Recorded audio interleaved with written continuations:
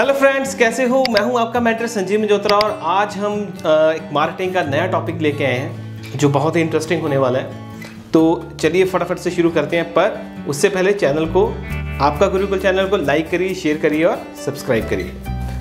तो फ्रेंड्स आज हम जो टॉपिक पे बात करेंगे, बहुत ही इंटरेस्टिंग है और बहुत ही इंफॉर्मेटिव है। तो इस पे अ, इस टॉपिक को हमें पढ़ना सुनना भी चाहिए पर इस पे अमल भी करना चाहिए। ठीक है? यही हमारी एक सोशल रिस्पॉन्सिबिलिटी बनती है।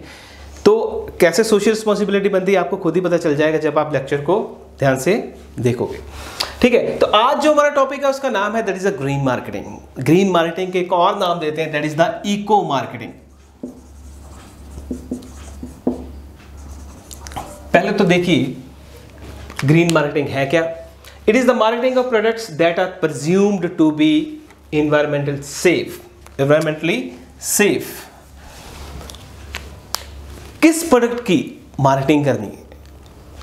उन प्रोडक्ट्स की मार्केटिंग करनी है जिस जिस, जो क्या हो, जो क्या हो इन्वायरमेंटली सेफ़ देखो, जितना भी हम कह सकते हैं, आजकल देखा जा रहा है कि हम क्या कर रहे हैं, जितने भी हमारे natural resources just we are exploiting our natural resources and it will create some imbalance in the environment अब इन्वायरमेंट में वो इम्बैलेंस क्रिएट हो चुका है। हो जाएगा।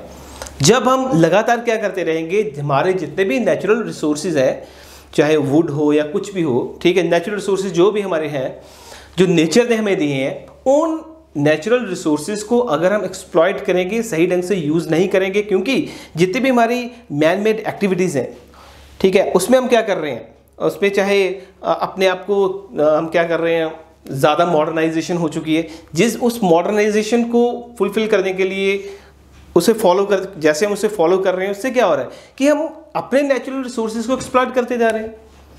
ठीक है? जैसे जैसे हम एक्सप्लॉयट करते जा रहे हैं और उनकी कमी हो रही है, उनकी कमी हो रही है और नेचर में क्या आ रहा है? इम्बेलेंस आ रहा है।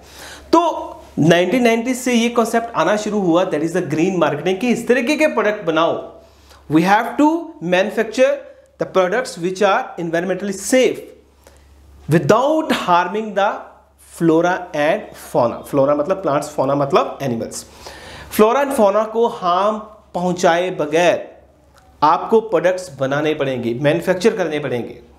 ठीक है? तो उसे हम, उस कंसेप्ट को बोलते हैं। उन प्रोडक्ट्स की मार्केटिंग को हम क्या बोलेंगे? ग्रीन मार्केटिंग, इको मार्केटिंग के वर्ड बोला, क्योंकि हम अपने इकोसिस्टम को बचाएँगे। We have to save our ecosystem flora and fauna by manufacturing the green products green products ठीक है? तो अब ग्रीन प्रोडक्ट्स में बेसिकली ग्रीन मार्केटिंग में कुछ एक्टिविटीज़ है ब्रॉड एक्टिविटीज़ है। वो कौन कौन सी हैं? प्रोडक्ट मॉडिफिकेशन आपको क्या करना पड़ेगा? Product modification innovation change in product process packaging modifying advertisement ये चीज़ें करनी पड़ेंगी। देखिए प्रोडक्ट को मॉडिफाई करना पड़ेगा। सस्टेनेबल प्रोडक्ट बनाना पड़ेगा। क्या बनाना पड़ेगा? सस्टेनेबल सस्टेनेबल डेवलपमेंट में बात करेंगे। सस्टेनेबल डेवलपमेंट क्या है? कि ऐसा प्रोडक्ट बनाएँ जिससे कि नेचुरल रिसोर्सेज पे इफ़ेक्ट ना पड़े और वो नेचुरल रिसोर्सेज हमारे फ्यूचर के लिए, हमारे जनरेशन्स के लिए बच जाए। उन्हें वो यूज़ कर पाए। हम उसे एक्सप्लॉयट ना करें। हमारा, हमारी गलतियों का जो खमियाजा, वो हमारी जनरेशन को भुगतना ना पड़े।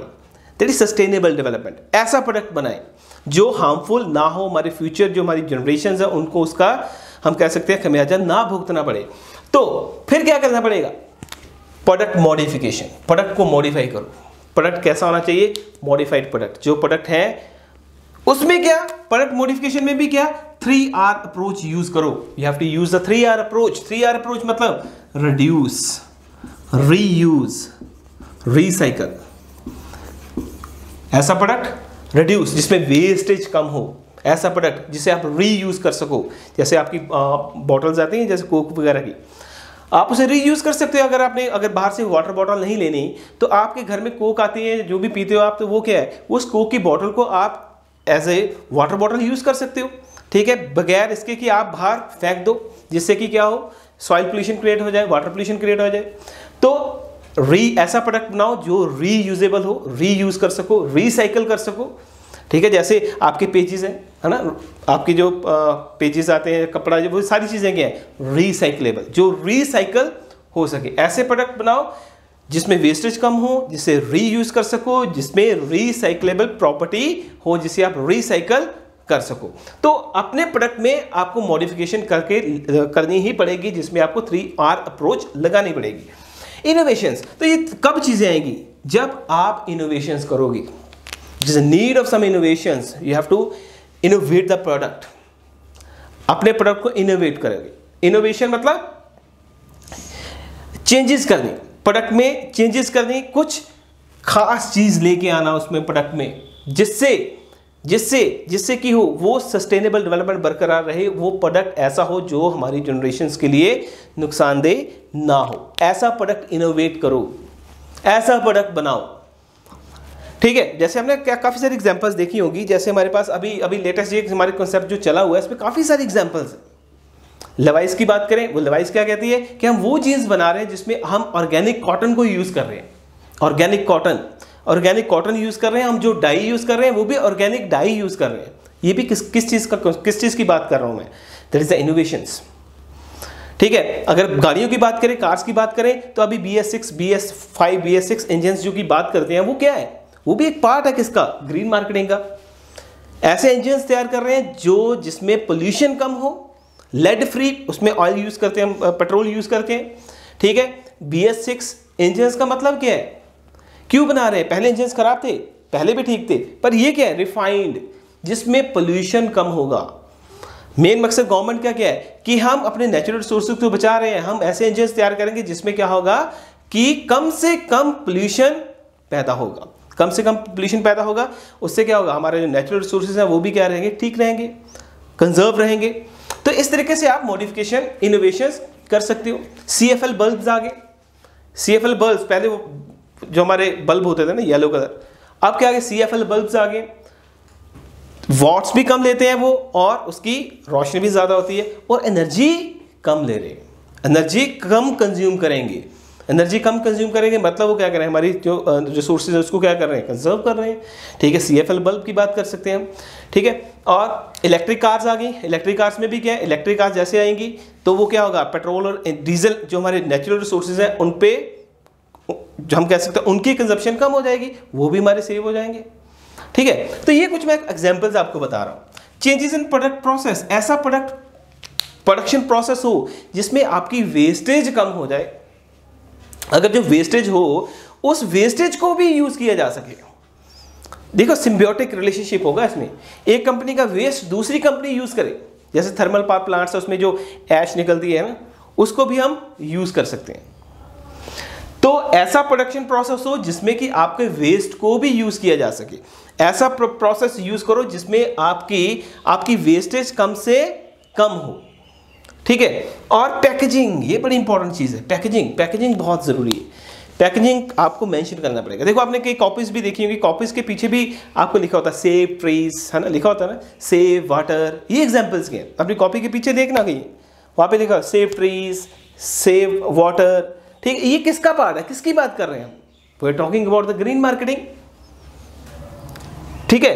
तो ये कहीं ना कहीं एक social marketing societal marketing concept भी बन जाता है। उसके उसके साथ ही मिलता जुलता कंसेप्ट हम अपनी सोसाइटी के वेलफेयर के बारे में सोच रहे हैं, हम यहाँ पे भी। ठीक है? तो पैकेजिंग कैसी होनी चाहिए? ऐसी पैकेजिंग जो क्या करे? हमारे इन्वायरमेंट को पोल्यूटेड ना करे। एयर पोल्यूशन वाटर पोल्यूशन ऐसा क्रिएट ना करे। जैसे डोमिनोज की पैकिंग आती है, किसमें? कार्डबोर्ड आते हैं। पॉलिथीन वगैरह उसमें नहीं होती। आपने देखा होगा सारा कार्डबोर्ड का होता है। वो भी किसका कॉन्सेप्ट है? That is the concept of packaging इसका ग्रीन मार्केटिंग पैकेजिंग ऐसी हो। ठीक है? जैसे अभी मैकडोनल्ड्स में कैसे है? जो हमारे नैपकिन होते हैं, वो भी क्या है? वो भी क्या है? ऐसी पैकेजिंग करते हैं कि आप आप वो, उसमें कहीं पे भी आपको प्लास्टिक नज़र नहीं आएगी। वहाँ पे आपको प्लास्टिक नज़र नहीं आएगी। रीयूजेबल या कह सकते हैं वो डिस्ट्रॉय हो सकते हैं। ठीक है मॉडिफाइंग एडवर्टीजमेंट्स आपको आपको एडवर्टीजमेंट भी कैसी करनी पड़ेगी? मॉडिफाइड एडवर्टीजमेंट्स आपको ग्रीन प्रोडक्ट को, आपकी एडवर्टीजमेंट ऐसी होनी चाहिए जिसमें आप एनकरेज करो लोगों को वो प्रोडक्ट बाय करने के लिए। लोग कहते हैं, क्यों बाय करें? अगर हम कहेंगे, ये प्रोडक्ट ले लो। आपको उनको बताना पड़ेगा। आपको अपने एडवर्टीजमेंट में मॉडिफिकेशन लेके आनी पड़ेगी। You have to promote the product green products by creating awareness among the consumers, you have to tell the consumers these are the right products for the consumers and for the environment. आपको बताना पड़ेगा। आपकी advertisement में changes आएँगे। ठीक है? इसका effect किस पे और पड़ेगा? आपकी जो फोर पीज है product price product price place promotion ठीक है? आपका प्रोडक्ट कैसा हो? सस्टेनेबल प्रोडक्ट हो। आपकी प्राइस कैसी हो? ऐसी प्राइस अगर वो बंदा आपका प्रोडक्ट बाय करे, उसको उसकी यूटिलिटी मिले यूटिलिटी ऐड करनी पड़ेगी आपको। वो कहता है, मैं क्यों प्रोडक्ट बाय करूँ? मैं सी एफ़ एल बल्ब पे एक तो बीस पच्चीस रुपए का दूसरा बल्ब आता है। जो सी एफ़ एल बल्ब आते हैं या जो हमारे एलईडी लाइट्स आती हैं एलईडी बल्ब आते हैं, वो आपका 150 का 200 का आता है।